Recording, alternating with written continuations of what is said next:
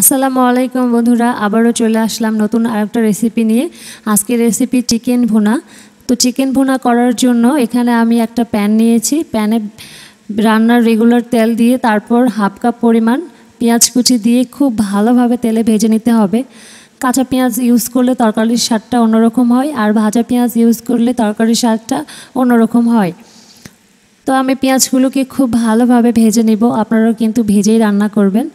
আর মুরগির মাংস নিয়েছি প্রায় দেড় কেজি পরিমাণ। আপনারা চাইলে কম বেশি ইউজ করতে পারেন।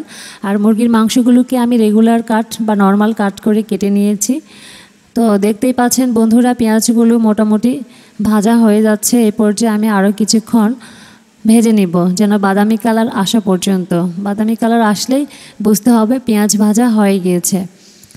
তো তারপর আমি অন্যান্য উপকরণগুলো সব রেডি করে নিয়েছি। আপনারাও কিন্তু একটু অন্যভাবে রান্না করার ট্রাই করবেন। তো দেখতেই পাচ্ছেন পেঁয়াজগুলো ভাজা হচ্ছে। এরকম অবস্থায় আপনার কিন্তু দাঁড়িয়ে থেকে রান্না করতে হবে। আপনি রান্না বসিয়ে দিয়ে চলে যাবেন, তাহলে রান্নার স্বাদটা বাজে আসবে। তরকারি পুড়ে যেতে পারে, বাজে গন্ধ হতে পারে। এই জন্যই চেষ্টা করবেন রান্নার সময় দাঁড়িয়ে থেকেই রান্না করার জন্য। তো পেঁয়াজগুলো মোটামুটি ব্রাউন কালার হয়ে গিয়েছে। আমি আরও কিছুক্ষণ পেঁয়াজগুলোকে রেখে ভেজে নিব। বাদামি কালার আসা পর্যন্ত। তো এই পর্যায়ে খুব ভালোভাবে খুন্তি দিয়ে নেড়ে চেড়ে একটু উল্টে পাল্টে মিক্সড করে নিলাম, যেন পেঁয়াজগুলো পুড়ে না যায়। তো খুব ভালোভাবে নেড়ে চেড়ে নিতে হবে এবং মুরগির মাংসরগুলো আমি আগের থেকেই ধুয়ে দশ পনেরো বারের মতো করে ধুয়ে খুব ভালোভাবে একটা স্ট্রেনারে উঠিয়ে ছাকিয়ে নিয়েছি যেন এক্সট্রা পানি না থাকে, পানিগুলো ঝরিয়ে যায়। আপনারাও কিন্তু অবশ্যই ট্রাই করবেন মাংসগুলোকে একটা স্ট্রেনারে উঠিয়ে ছেঁকে নেওয়ার জন্য। আর মুরগির মাংস কিন্তু খুব বেশি করে ধুতে হবে। তাহলে কোনো বাজে একটা গন্ধ আসবে না, খেতেও ভালো লাগবে, স্বাদও ঠিক থাকবে।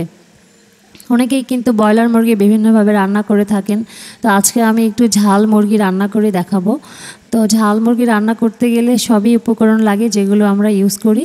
তো প্রথমে আমি এখানে আদা, রসুন বাটা ইউজ করব। আপনারা চাইলে যে কোনো গুঁড়া মশলা বা প্যাকেট মশলা দিয়েও কিন্তু রান্না করতে পারেন। রান্না করতে পারেন। তো এই রান্না করতে মোটামুটি দশ থেকে পনেরো মিনিট লাগে। খুব বেশি টাইমের প্রয়োজন হয় না। তো আবারও খুব ভালোভাবে নেড়ে চেড়ে নিলাম।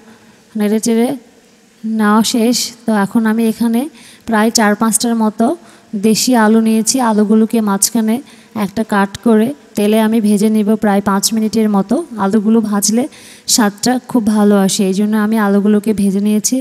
আপনারা চাইলে না ভেজেও রান্না করতে পারেন। এটা যার যার পছন্দ মতো সে করতে পারবে। তো দেখতেই পাচ্ছেন বন্ধুরা অলমোস্ট আমার আলুগুলো ভাজা হয়ে গিয়েছে।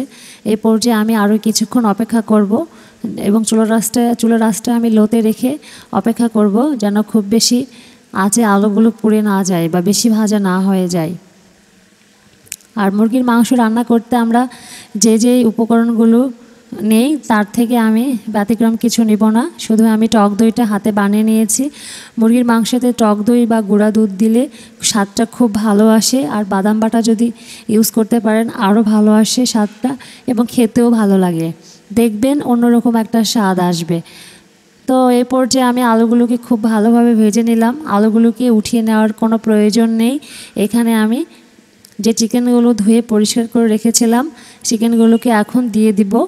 তো আপনারাও কিন্তু এ পর্যায়ে আলুর সঙ্গে চিকেনগুলো দিয়ে খুব ভালোভাবে নেড়েচেড়ে মিক্সড করে নিতে হবে। দেখতেই পাচ্ছেন, একটা স্টেনারে উঠিয়ে নিয়েছিলাম। তারপর সব মাংসগুলোকে দিয়ে এখানে আমি সব মশলাগুলো দিব। দিয়ে দিলাম আদা, রসুন বাটা, এক চামচ পরিমাণ। আপনারা মাংসের পরিমাণ বুঝে কম বেশি দিতে পারেন। এবং দিয়ে দিলাম ধনিয়া গুঁড়া। হাফ চামচ পরিমাণ, হলুদ গুঁড়া, হাফ চামচ পরিমাণ, লাল মরিচ গুঁড়া, এক চামচ পরিমাণ। যেহেতু ব্রয়লার মুরগি, আমাকে একটু ঝাল বেশি দিয়ে রান্না করতে হবে, তাহলে স্বাদটা খুব ভালো আসবে। লবণ হাফ চামচ পরিমাণ বা স্বাদ মতো। তারপর মশলাগুলোকে চিকেনের সঙ্গে খুব ভালোভাবে পাঁচ মিনিট নেড়ে চেড়ে আমি রান্না করব। আর লক্ষ্য রাখতে হবে, অবশ্যই দুইটা তেজপাতা, দুইটা এলাচ এবং আমি চার পাঁচটা লং এবং চার পাঁচটা গোলমরিচ ইউজ করেছি। আর এখানে আমি ঘরে বানানো হাফ কাপ পরিমাণ টক দই ইউজ করেছি। এটা আমি নিজেই বানিয়ে নিয়েছি। আপনারা চাইলে এভাবে বানিয়ে নিয়ে টক দই ইউজ করতে পারেন। তারপর সব উপকরণগুলোকে খুব ভালোভাবে নেড়ে চেড়ে মিক্সড করে নেব। আর এ পর্যায়ে চুলো রাসটা লোতে রেখেই খুব ভালোভাবে মেশাতে হবে। এক্সট্রা কোনো পানি আমি ইউজ করব না। একটা ঢাকনা দিয়ে ঢেকে দশ মিনিট অপেক্ষা করব। চুলো রাসটা লোতে রেখে, তো আপনারা কিন্তু এভাবেই রান্না করবেন। কষানোর সময় কোনো পানি দেওয়ার প্রয়োজন নেই। চলে আসলাম দশ মিনিট পর। দেখতেই পাচ্ছেন বন্ধুরা, মোটামুটি অনেকখানি পানি বের হয়ে গিয়েছে এই পানিতেই মাংসগুলোকে আমি কষাবো। এক্সট্রা কোনো পানি ইউজ করব না। আর স্বাদটাকে আরও বাড়ানোর জন্য আমি চার পাঁচটার মতো কাঁচামরিচ দিয়েছি। কাঁচামরিচ দিলে তরকারির ফ্লেভারটা খুব ভালো আসে। এই জন্য দিয়েছি। চলে আসলাম বন্ধুরা, পাঁচ মিনিট পর দেখতেই পাচ্ছেন আমার মাংসটা অলমোস্ট কষানো শেষ।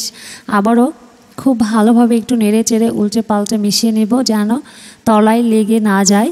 লক্ষ্য রাখতে হবে আর একটু পরপর নাড়াচাড়া করবেন, কিন্তু খুব বেশি নাড়াচাড়া করা যাবে না, যেহেতু ব্রয়লার মুরগি মাংসগুলো ভেঙে যেতে পারে। আর এক্সট্রা কোনো পানি দেওয়ারও প্রয়োজন নাই, তাতে হবে কি মাংসগুলো ওভারকুক হবে বা বেশি সেদ্ধ হবে। মাংসগুলো বেশি সেদ্ধ হলে খেতেও ভালো লাগে না। তো এ পর্যায়ে আমি আবারও একটু নেড়েচেড়ে অপেক্ষা করব এবং হাফ কাপ পরিমাণ পানি ইউজ করব। খুব বেশি পানি দেওয়ার প্রয়োজন নেই। এই পানিতে মোটামুটি আমার মাংসটা রান্না আমি শেষ করব। তারপর খুব ভালোভাবে আবারও একটু নেড়েচেড়ে নেব। নিয়ে আমি আবারও ঢেকে দশ মিনিট কুক করব। দশ মিনিটের মধ্যে মোটামুটি আমার রান্নাটা শেষ হবে। তো ঢাকনা দিয়ে ঢেকে দিলাম আর চুলো রাসটা লোতে রেখে দশ মিনিট অপেক্ষা করব। চলে আসলাম বন্ধুরা দশ মিনিট পর। তারপর খুব ভালোভাবে একটু নেড়ে চেড়ে উল্টে পাল্টে মিশিয়ে নেব। মোটামুটি আমার রান্না শেষের দিকে। আমার ভিডিও যদি ভালো লাগে অবশ্যই আপনারা আমার এই ভিডিও দেখে এভাবেই রান্না করবেন। আর আমার লাইক, কমেন্ট, শেয়ার করে সাথেই থাকবেন। আজকে এই পর্যন্ত বন্ধুরা। আল্লাহ হাফেজ।